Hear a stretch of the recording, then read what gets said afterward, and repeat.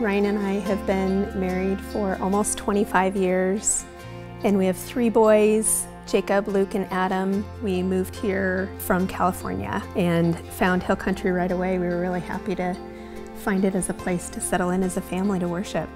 So we have three boys, and of those three boys, they were starting to get into like seven, eight years old. And um, my wife introduced me to a book called Modern Day Knight. And one of the things when I read that book was a celebration that cultures do outside of just the American culture of celebrating manhood. And it really struck a chord with me and some friends. And together we decided we should actually create milestones for our children, um, for the rite of passage that um, when they are adults that they know, hey, I'm now an adult and I can go and take on being an adult. And so my first milestone was when they turned 12 our goal was to just go away and take this document that I wrote of just like key characteristics and qualities and we asked them to memorize them. And we memorized them together and then we sat and then going forward those are the behaviors that I would then hold the kids accountable to. And then when they turned um, 16, I felt like leadership needed to be represented more than just in the household. And so we chose to go to DC since it's really just to see a bigger breadth and depth of leadership.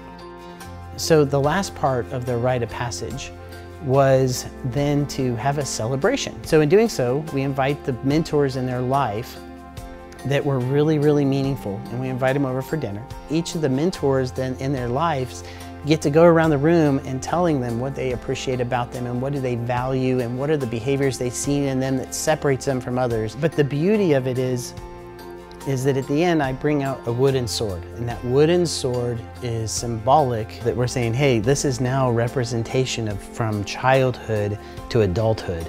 This has had an incredible impact on me and I feel like it changed our relationship. But I'll never forget that night. It was so fun just receiving the sword from my dad and just that it felt really good to go into adulthood with a community already set up, having my back. I've been so encouraged watching him take such a significant role in helping lead them.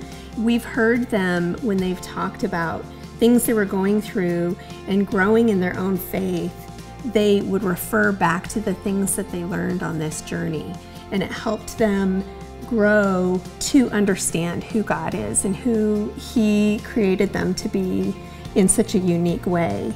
I'm excited to someday pass this on to my children. Hopefully they pass this on to theirs and have it just become a legacy of just embracing just God through adulthood and implementing God and, and what he teaches into just everyday life.